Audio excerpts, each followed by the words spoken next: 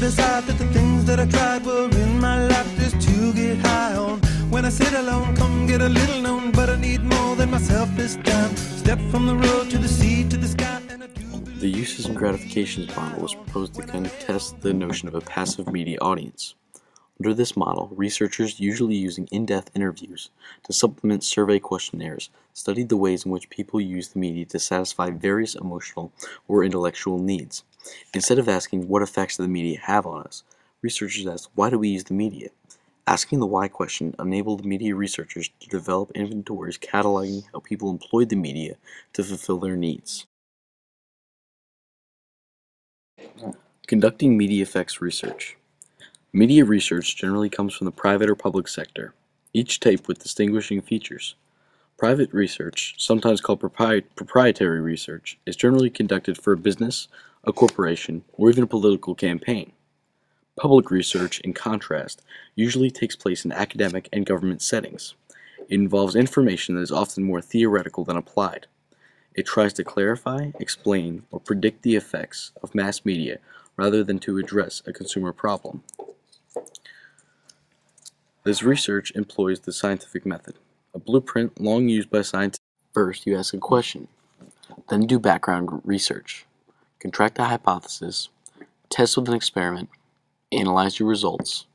You figure out whether your hypothesis is true or not true, and then report results.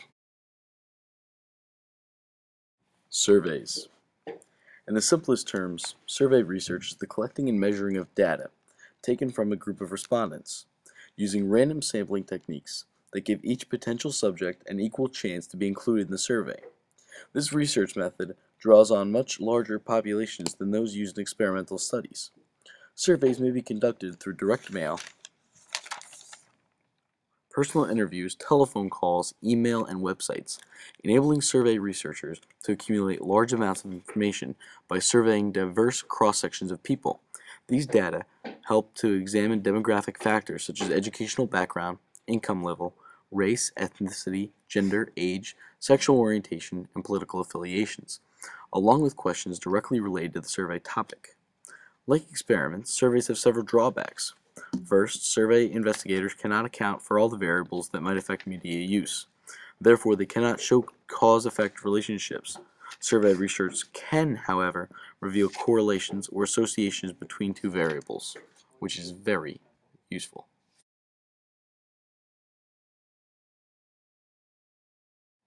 Content analysis is a systematic method of coding and measuring media content.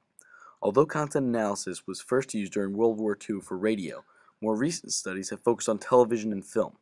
Probably the most influential content analysis studies have been conducted by George Gerbner and his colleagues at the University of Pennsylvania. Since the late 1960s, they have coded and counted acts of violence on network television. Combined with surveys, these annual violence profiles have shown that the heavy watchers of television, ranging from children to retired Americans, tend to overestimate the amount of violence that exists in the actual world. Media effects theories. By the 1960s, the first departments of mass communication began graduating PhD level researchers schooled in experiment and survey research techniques, as well as content analysis. These researchers began documenting consistent patterns in mass communication and developing new theories. Four of the most influential contemporary theories that help explain media effects are social learning, agenda setting, the cultivation effect, and the spiral of science. Silence. Social learning theory. The video scrolling on the screen documents the Bobo doll experiments conducted by Albert Bandura and his colleagues at Stanford University in the early 1960s.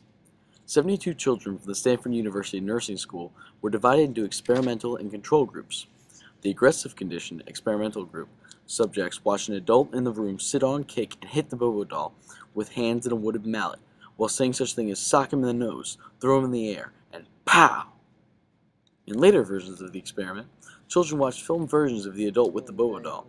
Afterward, in a separate room filled with toys, the children in the aggressive condition group were more, more likely than the other children to imitate the adult's model behavior toward the Bobo doll.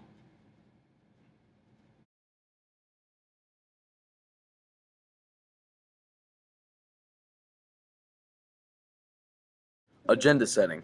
A key phenomenon posited by contemporary media effects researchers is agenda setting. The idea that when the mass media focus their attention on particular events or issues, they determine, that is, set the agenda for the major topics of discussion for individuals and society. Essentially, agenda setting researchers have argued that the mass media do not so much tell us what to think as what to think about. The cultivation effect. Another mass media phenomenon, the cultivation effect, suggests that heavy viewing of television leads individuals to perceive the world in ways that are consistent with television portrayals. This area of media effects research has pushed researchers past the focus on how the media affects individual behavior and toward a focus on larger ideas about the impact on perception.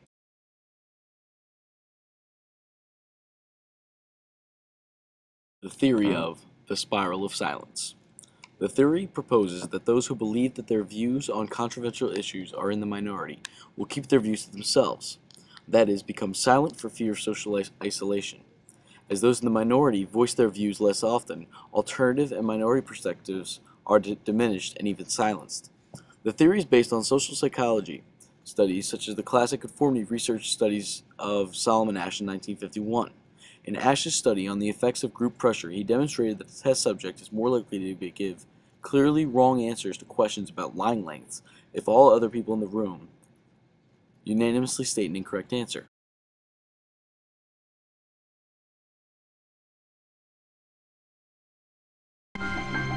The Asch experiment is one of psychology's oldest and most popular pieces of research.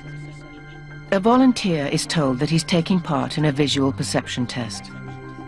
What he doesn't know is that the other participants are actors, and he's the only person taking part in the real test, which is actually about group conformity.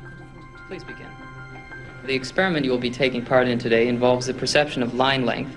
Your task will be simply to look at the line here on the left and indicate which of the three lines on the right is equal to it in length. So, for example, The actors have been told to match the wrong lines. The volunteer will be monitored to see if he gives the correct answer or if he goes along with the opinion of the group and gives the wrong answer. In the first test, the correct answer is 2. Uh, one. 1. 1. 1.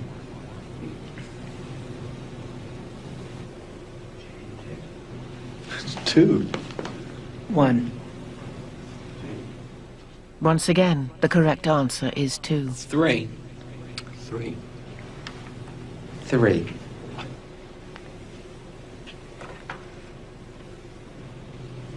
Three. 3. The Asch experiment has been repeated many times, and the results have been uh, supported again and again. We will conform to the group. Again, we're very social creatures. We're very much aware of what the people around us think. Uh, we want to be liked. We don't want to be seen to rock the boat, so we will go along with the group. Even if we don't believe what people are saying, we'll still go along. 1. 1. 1. 1. Group dynamics is one of the most powerful forces in human psychology. Uh, 1. According to the theory, the mass media can help create a false, overrated majority. That is, a true majority of people holding a certain position can grow silent when they sense an opposing majority in the media. One criticism of the theory is that some people may not fall into a spiral of silence because they don't monitor the media, where they mistakenly perceive that more people hold their position than really do. Cultural research focuses on the investigation of daily experience, especially on issues of race, gender, class, and sexuality, and on the unequal arrangements of power and status in contemporary society. Such research emphasizes how some social and cultural groups have been marginalized and ignored throughout history. Consequently, cultural studies have attempted to recover lost or silenced voices, particularly among African American, Native American, Asian and Asian American, Arabic, Latino, Appalachian, gay and lesbian, immigrant, and women's cultures. Textual analysis. Textual analysis highlights the close reading and interpretation of cultural messages, including those found in books, movies, and TV programs. It is the equivalent of measurement methods like experiments and surveys and content analysis. While media effects research approaches media messages with the tools of modern science, replicability, objectivity, and data textual analysis looks at rituals, narratives, and meaning. One type of textual analysis is framing research, which looks at recurring media story structures, particularly in news stories. Media sociologist Todd Gitlin defines media frames as persistent patterns of cognition, interpretation, and presentation of selection, emphasis, and exclusion by which symbol handlers routinely organize discourse, whether verbal or visual. Audience studies.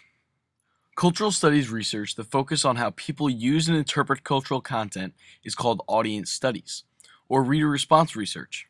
Audience studies differ from textual analysis because the subject being researched is the audience for the text, not the text itself. For example, in reading The Romance, Woman, Patriarchy, and Popular Literature, Janice Radway studied a group of Midwestern women who were fans of romantic novels.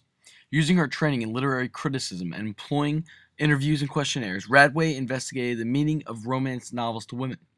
She argued that reading romance novels functioned as personal time for some women, whose complex family and work lives leave them very little time for themselves.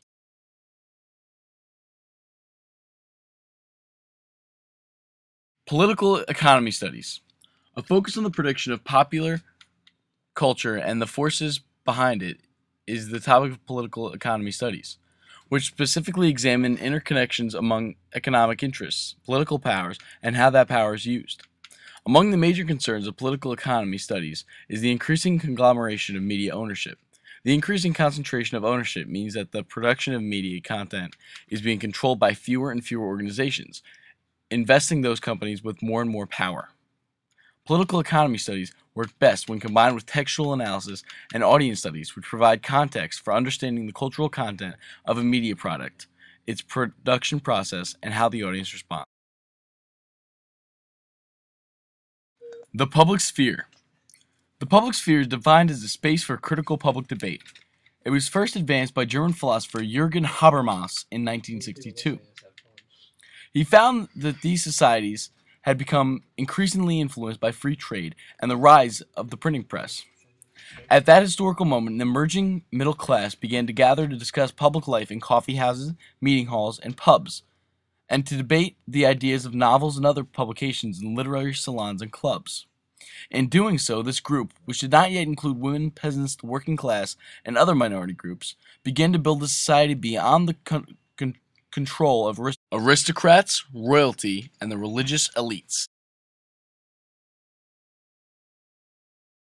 Public intellectuals who work on such shows as Meet the Press, as I do, um, cross the boundary between academics and the general public. In recent years, certain public intellectuals have also encouraged discussion about media production in a digital world. Stanford University law professor Lawrence Lessig has been a leading advocate of efforts to rewrite the nation's copyright laws to enable non-commercial amateur amateur culture to flourish on the internet. He publishes his work both in print and online. American University's Pat Aufderheide, longtime media critic for the alternative magazine In These Times, worked with independent filmmakers to develop the documentary Filmmakers Statement of Best Practices in Fair Use, which calls for documentary filmmakers to have reasonable access to copyrighted material for their work. Like public journalists, public intellectuals based on campuses help carry on the conversations of society and culture, actively circulating the most important new ideas of the day and serving as models for how to participate in public life. For Meet the Press, this is public intellectual Kieran McGirl.